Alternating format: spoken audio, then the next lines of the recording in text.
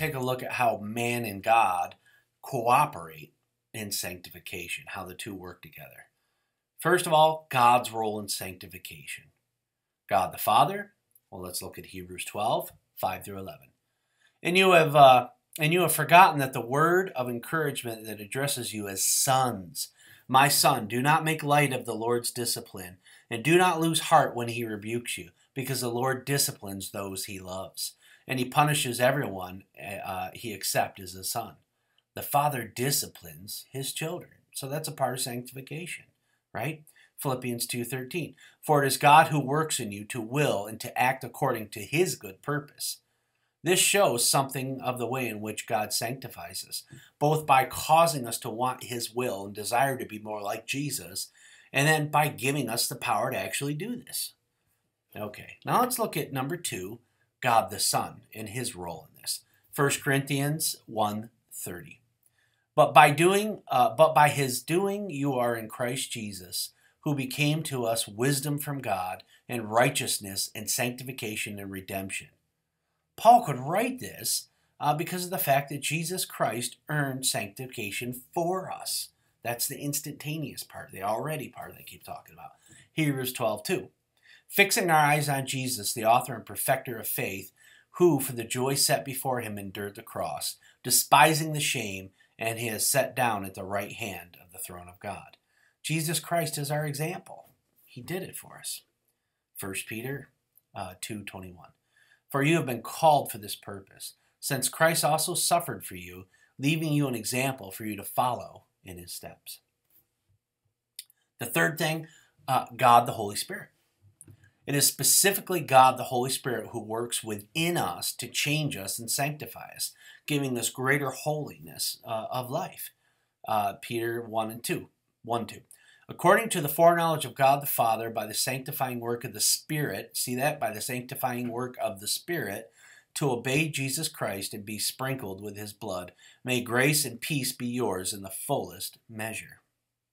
Galatians 5:22 is one of my favorite passages.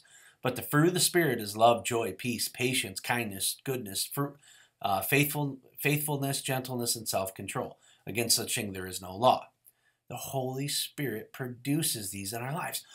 Folks, think about this. What does it mean uh, to be sanctified? to become more like Jesus. I'll tell you what it means. It means to see the fruit of the Spirit grow and be more evident in your life. The fruit of the Spirit is, is who Jesus is, right? It's He's love, He's joy, He's peace, He's patience. And what we want to see is as we remain in Him, right? If we plant our tree by the water, the Holy Spirit, right, uh, plenishes us and nourishes us, and we stay there. That's our choice is to stay planted by the water um, and then and then what happens is the fruit begins to grow in our lives. It's a perfect analogy. And uh, this fruit that we want to see grow in our lives is the fruit of the Spirit. Galatians 5 16 18 says this So I say then, live by the Spirit, and you will not gratify the desires of the sinful nature. And the Spirit, um, what is contrary to the sinful nature. They are in conflict with each other, so that you do not know, uh, so that you do not do what you want. But if you are led by the Spirit, you are not under the law. See, if we live by, uh, are led by the Holy Spirit, right, we will become more and more responsive to the desires and promptings of the Spirit in our life and character. This is huge. Uh, Romans 8:14 because those who are led by the spirit of God are sons of God. We are sons, right? Yeah. And B finally, our role in sanctification. As believers, we can often become frustrated with our growth process, and that's true. Um, we need not be, right? The two natures of the Christian are very critical here. Romans 6:13. Neither yield ye your members as instruments of unrighteousness unto sin, but yield yourselves unto God as those that are alive from the dead, and your members as instruments of righteousness unto God. Romans 12:1. Therefore, I urge you, brothers, in view of God's mercy, to offer your bodies as living sacrifices, holy and pleasing to God. This is your spiritual act of worship. Romans 8:13. For if you live according to the sinful nature, you will die. But if by the Spirit you put to death the misdeeds of the body, you'll live. And then finally, Philippians 2 uh, 12 through 13. Therefore, my dear friends, as you have always obeyed not only in my presence, but now much more in my absence, continue to work out your salvation with fear and trembling. For it is God who works in you to will and to act according to his good purpose. There are many aspects to this active role that we are to play in sanctification, and there's a whole list of scriptures in your notes for you to look at and hopefully look up. Let's take a look now on how sanctification affects the whole person. A. Intellect, right? Colossians 3:10. And have put on the new self which is being renewed in the knowledge and the image of its creator. Romans 12, 12, 12 2. Do not conform any longer to the pattern of this world, but be transformed by the renewing of your mind. Then you'll be able to test and approve that God's will is, what God's will is, his good, pleasing, and perfect will. Uh, to 2 Corinthians um, 10 5. We demolish arguments and every pretension that sets itself up against the knowledge of God, and we take captive every thought to make it obedient to Christ. A lot of people uh, worry about uh, this idea of strongholds, and we hear about strongholds in the Bible. And yet, while they can be demonic, when you really study Paul and what was going on there, the strongholds he was talking about were wrong ways of thinking. Those were the strongholds. People had wrong ways of thinking about God and His grace and how it worked. And uh, those strongholds had to be torn down.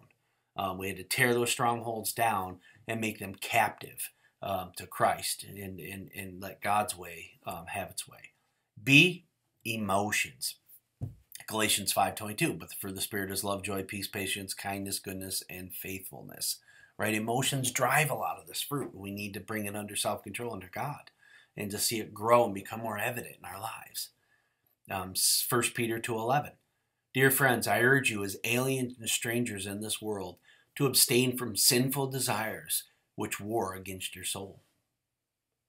Ephesians 4:31 Get rid of all bitterness, rage and anger, brawling and slander, along with every form of malice.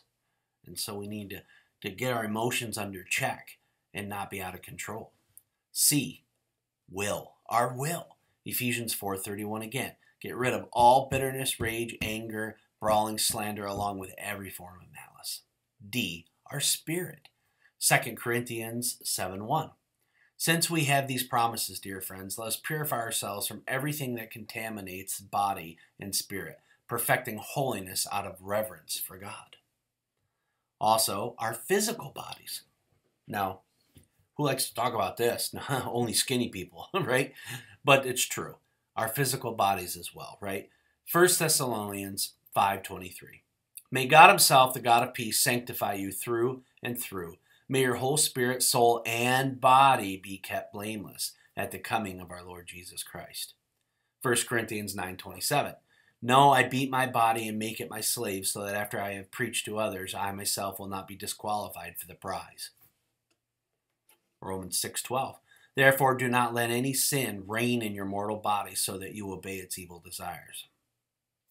And then finally, 1 Corinthians 6:19 through 20.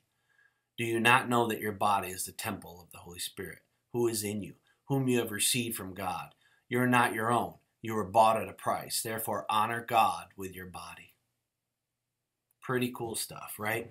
And so we've learned in this session, right, this idea of sanctification, becoming more like Jesus. We've learned exactly what that looks like, seeing an increase in the fruit of the Spirit in our lives. And we've learned that there's this tension between the already and the not yet. We know that, yes, immediately upon salvation, we are washed clean and we are positionally perfect before God. It's good stuff, guys. And then we learned that there's this process of life that we go through, that it's messy and it, and it, and it, it works us through, right? Um, it's a progressive thing. Um, and then we also know that at the end, um, we will be made perfect. God has a part in sanctification. We have a part in sanctification. That's a true uh, partnership um, for us to become more like Christ.